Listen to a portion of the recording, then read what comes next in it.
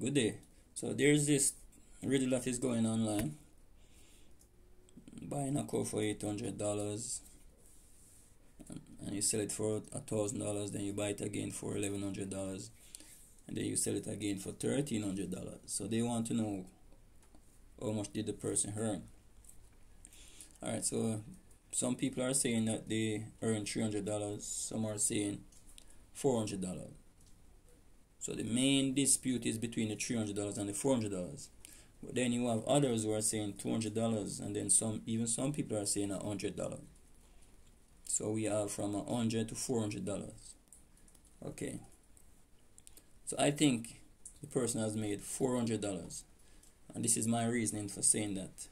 I'm going to show you five different ways of how I look at it.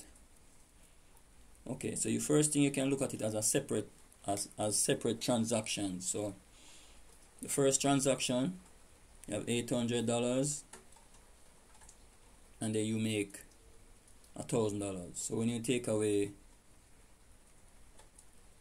800 from a thousand, that leaves you with $200. So you made $200 in the first transaction. The second transaction now, you bought it for $1,100 and you sold it for $1,300.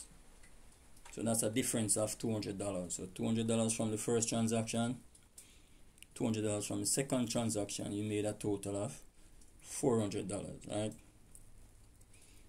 Next way you can look at it is to, next way I look at it is to add, add the total amount of money that you, you spent to buy the cow. So you're going to add the $800, right? And then you're going to add the $1,100 because that's the total you used to spend and then you're going to add the total amount that you sold it for. So you're going to add the thousand dollars plus the thirteen hundred dollars. So when you take away, when you had thousand dollars and thirteen hundred dollars, you're going to have two thousand three hundred dollars. So you, you take away nineteen hundred dollars from two thousand three hundred dollars, and that should give you four hundred dollars still. Another way you can look at it is you can start from the biggest sale okay? Bigger sale. So you use the first the second transaction first to say you bought the, the cow for $1100 and then you sold it for $1300 you made a profit of $200 right there right? When you take away 1100 from 1300 you give it get you get $200 so now you have $1,300 now. So you take out $800 out of that money and you buy a cow. So when you take out $800 from that money, you're going to have $500 leave, right? So you take out $800 out of that money and then you buy you buy a cow for $800 and then you sold it for $1,100 so 1100 and no so a thousand and five is going to be 1500 so when you take away the remember so you started out with 1100 so when you take away 1100 from the 1500 you still have 400 dollars right? I'm to go again with that one you have a hundred dollars. You bought a car for for eleven hundred dollars. You you bought the car for eleven hundred dollars. You sold it for thirteen hundred dollars. You would have made a profit of two hundred dollars right there right? Then you buy the car again for eight hundred dollars. So you're going to take out eight hundred dollars out of your thirteen hundred dollars. So that's going to leave you with five hundred dollars. So you buy the cow for $800 you sold that cow for $1,000 so now you have $1,000 plus the $1,500 I remember you started out with $1,100 so when you take away 1100 from the 1500 you have $400.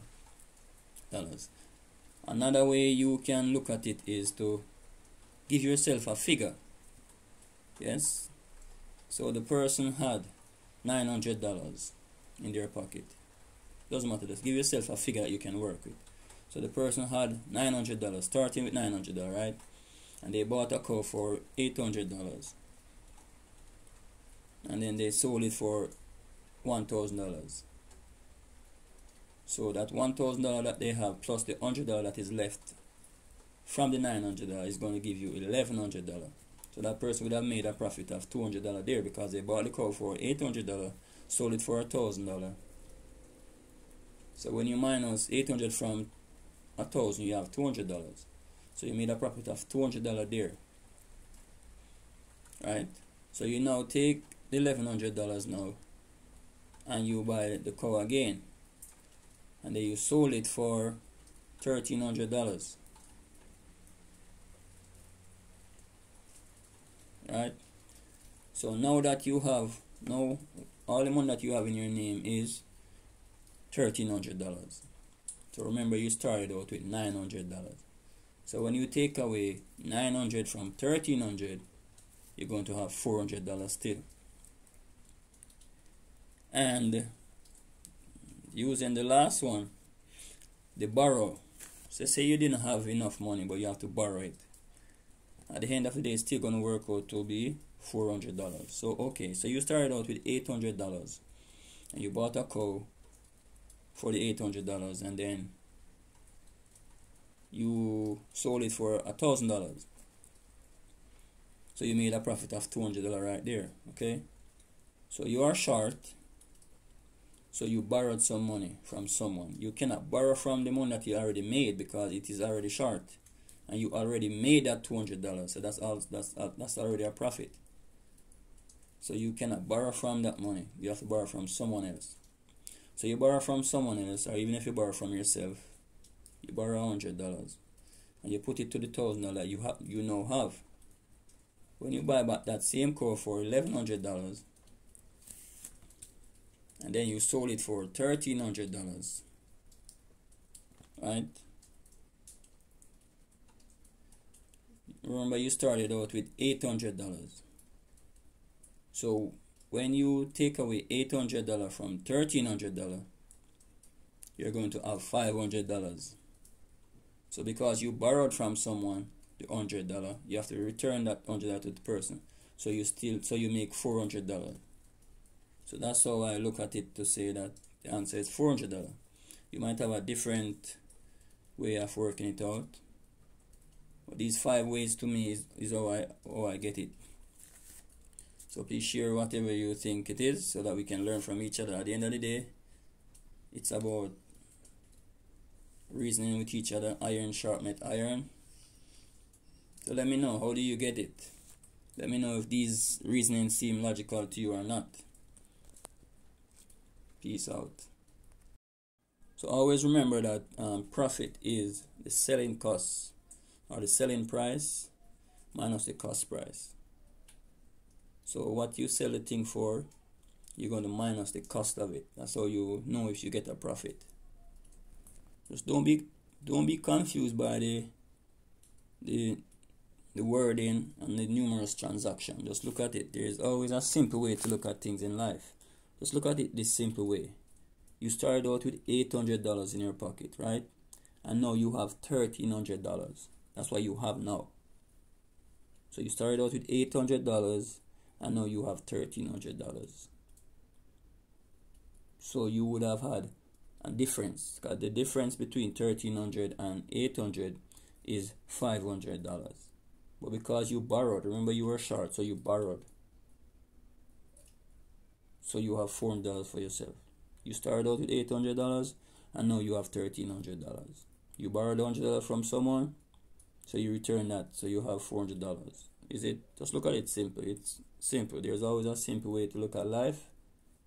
But many of us choose to look at it the the difficult or the complicated way. You started out with eight hundred dollars and now you have thirteen hundred dollars. You had to borrow hundred dollar so you return that hundred dollars so you have four hundred dollars leave. But thanks for listening to me. Let me know your feedback. So if you had made just a hundred dollar the amount of money you would have in your pocket would be eleven hundred dollars. Now you if it if it was if it was a hundred dollars that you made, you would have had a thousand dollar in your pocket, right? and then after you return the hundred dollar to, to, to whoever you borrowed it from, you would have nine hundred dollars. So eight hundred plus a hundred is nine hundred dollars. So you would have made only a hundred dollar profit. So you, your total amount of money would be a thousand dollars, and then you return the hundred dollar you have borrowed, then you would have only made nine hundred dollars. If it was two hundred dollar was the what was the earnings, you would have had eleven hundred dollars in your name, right? And when you return the hundred dollar to whoever you borrowed it from, you just have a thousand dollars. So when you minus eight hundred from a thousand, you just make two hundred dollar profit. And if it was three hundred dollar was the profit that you have made, you would have had twelve hundred dollars in your pocket, right? So when you return the hundred dollar to whoever you borrowed it from, you would have had eleven hundred dollars. So when you subtract eight hundred from eleven hundred, you have three hundred dollars. So now because you have made $400, you have $1,300 in your pocket, right? So when you give back that person whoever you borrowed the $100 from, you now have $1,200. So when you subtract 800 from 1200 you have $400. Thanks again.